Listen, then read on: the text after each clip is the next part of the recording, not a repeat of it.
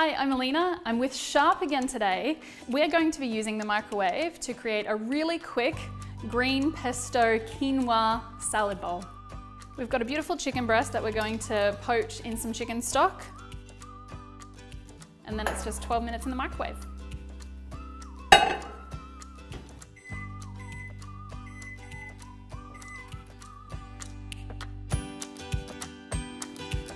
Let it rest for a little while.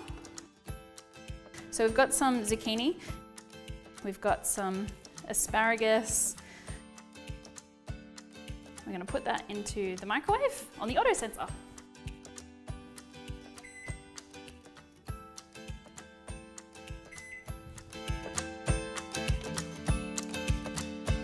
So we've got our greens steamed to perfection. So we'll put that aside while we cut up our chicken breast. So we've got our quinoa. So we're going to pour our pesto in there. And then we'll put through our greens. We've got some spring onions there too.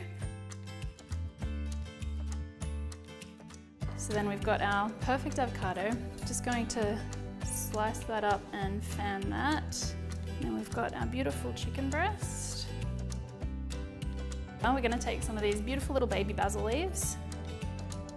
So there you have it, your beautiful satisfying pesto with all of the good things, delicious and nutritious.